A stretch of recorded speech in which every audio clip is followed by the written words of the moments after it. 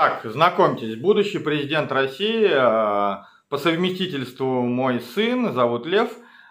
Ну, это я так, э, надеюсь, просто развлечь канал свой, немножко размягчить его а не юридической тематикой. Почему будущий президент России?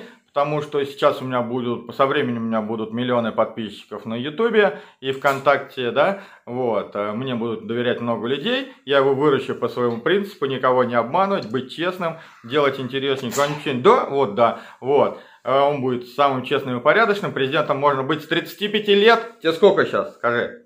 Не говорит. Ну, примерно через 35 лет вот этот человек будет баллотироваться президента России. Я уж не знаю, буду ли я к тому времени живой, надеюсь, буду.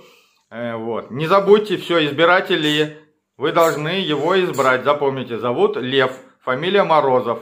Лев Константинович Морозов, а, будущий президент России.